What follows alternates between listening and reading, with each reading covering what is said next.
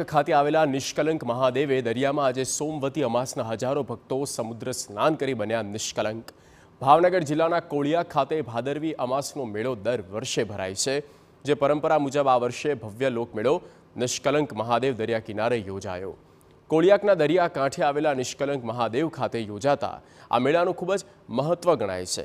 અને આજના દિવસે ભાદરવી અમાસના નિષ્કલંક મહાદેવના દરિયામાં સમુદ્ર સ્નાનનું ખૂબ જ મહત્વ છે.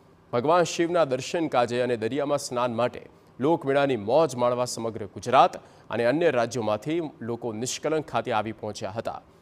આજે સોમવાર અને અમાસ હોવાને લઈને અને ભાદરવી અમાસને લઈને એક લાખથી વધારે લોકો આવ્યા હતા. માટે શીરાની વ્યવસ્થા પણ ભક્તો માટે કરાઈ. પ્રધાન પરસોત્તમ સોલંકીના પુત્ર દિવ્યેશ સોલંકીએ પ્રસાદીની વ્યવસ્થા કરી હતી. ત્યારે મેળામાં કોઈ અનિચ્છનીય બનાવ ન બને માટે પોલીસે પણ બંદોબસ્ત ગોઠવી રાખ્યો હતો.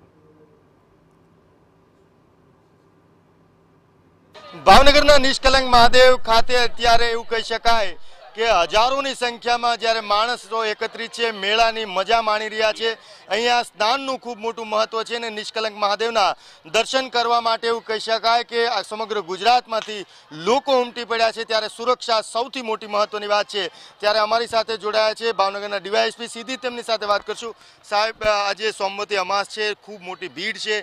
કેવા પ્રકારની સુરક્ષા વ્યવસ્થા આજે સોમવતી અમાસના દિવસે કોળિયાક નિષ્કલંક મહાદેવ ખાતે મોટી સંખ્યામાં ભારતભરમાંથી અને ગુજરાતથી જે દર્શનાર્થીઓ આવેલા છે, તેની સુરક્ષા પોઈન્ટ ઓફ વ્યૂ અત્રે નવ જેટલા પીઆઈ શ્રી સોળ જેટલા પીએસઆઈ શ્રી અને એક હજાર જેટલો પોલીસ એસઆરડી અને જીઆરડીનો પોલીસ બંદોબસ્ત તૈનાત કરવામાં આવેલા છે.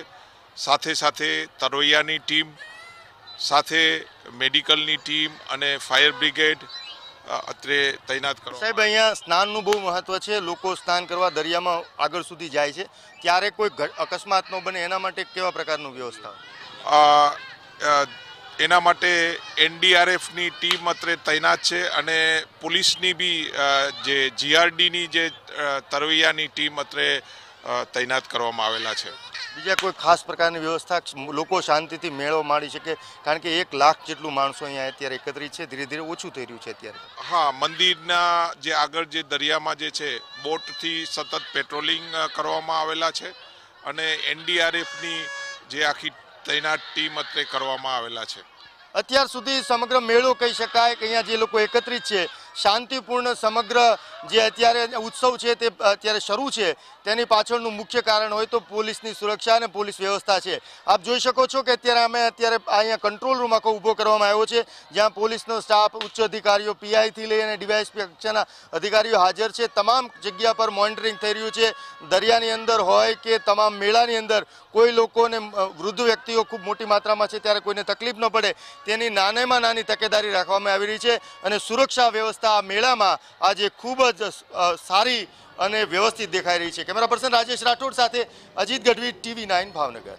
તો ભાવનગરમાં જ્યાં નિષ્કલંક મહાદેવનો મેળો યોજાય છે અને લાખોની સંખ્યામાં ત્યાં શ્રદ્ધાળુ પણ પહોંચી રહ્યા છે અને સુરક્ષા વ્યવસ્થા પણ ગોઠવવામાં આવી છે અને શિરાનો શીરાનો પ્રસાદ પણ તમામ માટે વ્યવસ્થા કરવામાં આવી છે. ભાવનગરના નિષ્કલંક મહાદેવ ખાતે અત્યારે પવિત્ર દિવસ છે. લોકો નિષ્કલંક મહાદેવના દર્શન માટે, આ દરિયો છે તેની અંદર સ્નાન કરવા માટે ખૂબ જ મોટી સંખ્યામાં ગુજરાતમાંથી આવ્યા છે. ત્યારે આપ જોઈ શકો છો, અત્યારે અમે ઊભા છીએ. આ જે વ્યવસ્થા કરવામાં આવી છે તે રાજ્યના જે મંત્રી છે રાજ્ય કક્ષાના પુરુષોત્તમભાઈ સોલંકી દ્વારા લોકોને શીરાનો પ્રસાદ આપવા માટે અત્યારે વ્યવસ્થા છે. ત્યારે અમારી સાથે જોડાયા છે પુરુષોત્તમભાઈ સોલંકીના પુત્ર દિવ્યેશભાઈ સોલંકી. સીધી તેમની સાથે વાત કરશું. દિવ્યેશભાઈ, શું કહેશો? અત્યારે સમગ્ર ગુજરાતમાંથી, ભારતભરમાંથી અનેક લોકો અહીંયા ખૂબ મહત્વ છે. નિષ્કલંક મહાદેવનું દર્શનનું ત્યારે લોકો ઉમટી પડ્યા છે. ત્યારે આપના દ્વારા સરસ વ્યવસ્થા કરવામાં આવી છે એના વિશે.